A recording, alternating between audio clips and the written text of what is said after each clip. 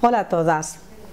Eh, soy Ana Barragán, directora estilista de Sensud Lab y bueno, vamos a dar un pequeño consejo de cómo podemos disimular las canas en un momento que no nos ha dado tiempo, se nos ve, no nos sentimos seguros de, nosotros mismos, pues es muy fácil. Cogemos, hay ya varios productos en el mercado que, están eh, específicamente diseñados para esto, pero si no lo tenemos a mano, pues podemos coger una cera de estas, tipo Dash, ¿eh? que utilizan los niños en el colegio, eh, la textura es similar a estos otros productos de los que os he hablado antes.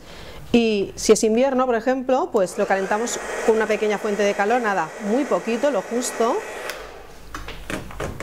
Y cogemos un color, puede ser negro o puede ser un marrón oscuro y vamos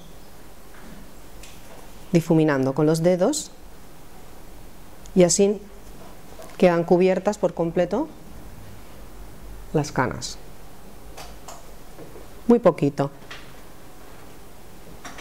Se puede hacer para los colores oscuros utilizar un negro o un marrón oscuro y si el color son más claros también podemos utilizar un color un poquito más claro. También el resultado es el mismo.